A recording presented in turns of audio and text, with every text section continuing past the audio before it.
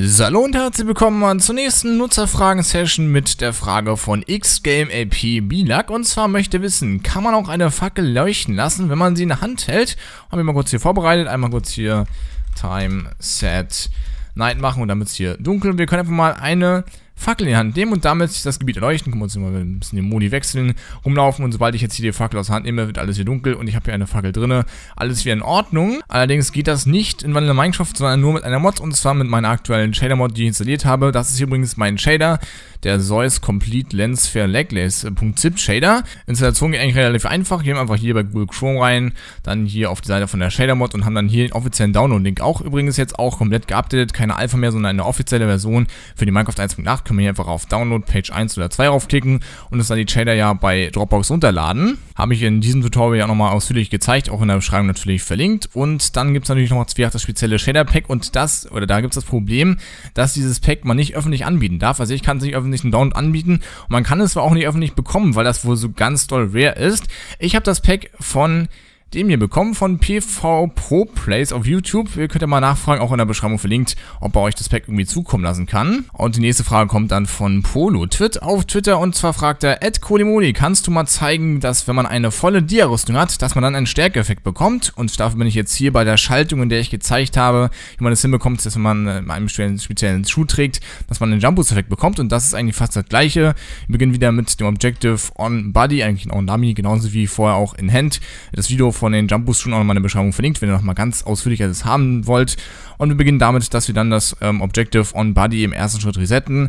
Ein Repeater später wird dann hier diese Viererzeile ausgeführt. Und zwar wird hier dafür gesorgt, dass Spieler, die auf dem Slot 100b, das ist der Slot für die Füße, kennen wir auch aus dem letzten Tutorial, ähm, die dort die Diamond Boots tragen, also Teil 1 sozusagen, dass die für On Body den Wert um 1 erhöht bekommen. Das heißt, wir haben jetzt sozusagen jetzt hier, wenn wir eine vierstellige Zahl haben, auf der letzten Stelle eine 1 gesetzt, dann geht es hier weiter. Um 10 erhöht wird das Ganze, wenn sich auf dem äh, Slot für die Hose Diamond Leggings befindet. 101b ist also der Slot für die Hose und wenn sich dort das Ganze befindet, wird hier mit dem Scoreboard Players Add-Command der Wert um 10 erhöht. Heißt also, wenn wir bisher Schuhe hatten, haben wir eine 1 plus 10 macht 11, also haben wir bisher eine 11. Weiter geht es dann hier mit der dritten Stelle. Ähm, auf Slot 102b befindet sich da eine Diamond Chestplate, wird der Wert um 100 erhöht. Wenn wir also alles bisher haben, haben wir eine 100 plus 10 plus 1 macht 111, 1, 1, 1 und dann gibt es hier nochmal die vierte Stelle.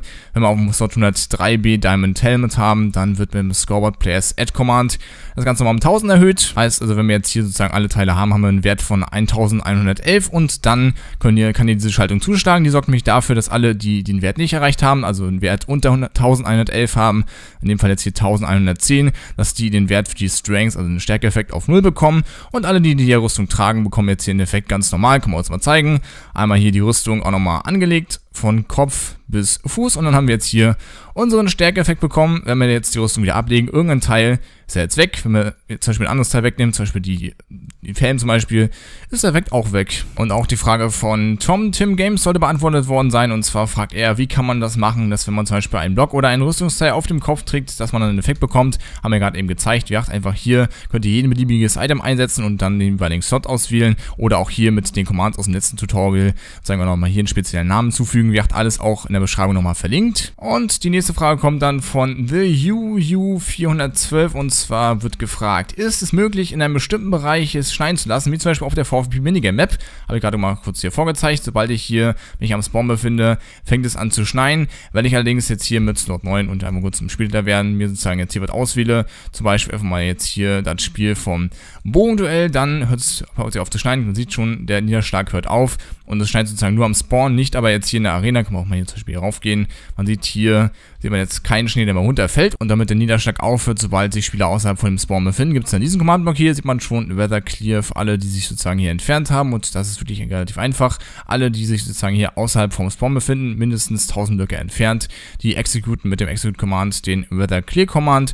Ja, sobald ich mir also hier entferne, wird das Ganze geklärt. Muss man testen, wenn wir uns jetzt hier einfach zum Beispiel zu Bedwars teleportieren dort 10 minus 888, man sehen, okay, so, und da wir natürlich auch die Spawn-Chance gesetzt haben, wird es jetzt hier aufhören zu regnen und der Himmel klart wieder auf und das soll es auch soweit gewesen sein. Ihr habt alle Commands nochmal in der Videobeschreibung verlinkt und äh, weitere Fragen am besten mit dem Hashtag FragVVP äh, auf Twitter stellen oder auch in den Kommentaren, aber auf Twitter ist halt immer am besten, weil ich auch mobil antworten kann. Ja, ansonsten danke ich fürs Zuschauen, bis zum nächsten Mal, tschüss!